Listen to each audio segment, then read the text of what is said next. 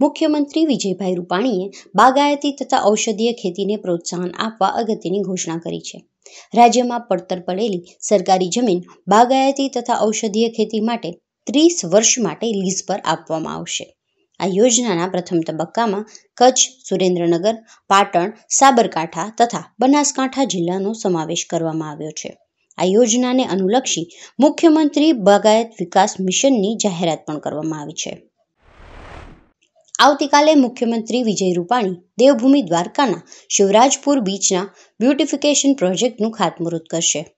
ખાતમુહૂર્ત પછી તેઓ દ્વારકાના જગત મંદિરે આવશે. મુખ્યમંત્રી વિજયભાઈ રૂપાણી અને તેમના પત્ની અંજલિબેન ભગવાન દ્વારકાધીશના દર્શન તથા પૂજન કરશે. જામનગર જિલ્લામાં મતદાર યાદી સુધારણા કાર્યક્રમ પછી સત્યાવીસ હજાર સાતસો અઢાર મતદારોનો વધારો નોંધાયો છે. આ ઉપરાંત જિલ્લામાં એંસી વર્ષથી વધુ વયના ઓગણત્રીસ હજાર છસો પાંત્રીસ મતદારો હોવાની માહિતી મળી છે. કલેક્ટર રવિશંકર દ્વારા વરિષ્ઠ મતદાતાઓના સન્માન તથા મતદાર જાગૃતિના કાર્યક્રમો યોજવા સહિતના મુદ્દે જાણકારી આપી હતી.